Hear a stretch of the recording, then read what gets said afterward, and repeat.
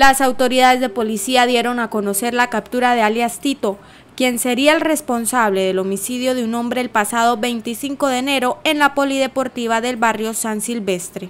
Asimismo estamos presentando por el delito de homicidio a Tito Edinson Moreno Llanos, conocido con el alias de Tito, de 34 años de edad. Esta persona fue judicializada por el delito de homicidio agravado, porte ilegal de armas y esta persona eh, fue capturado en el barrio La Paz de nuestro distrito especial de Barranca Bermeja. Y alias Tito se le atribuye el homicidio de Eduard Alexis Torres Garcés, ocurrido el 25 de enero del presente año en el Polideportivo del barrio San Silvestre de acá de nuestra ciudad. El coronel Luis Alejandro Cubillos, comandante del Departamento de Policía del Magdalena Medio, dio a conocer el prontuario delictivo de este hombre.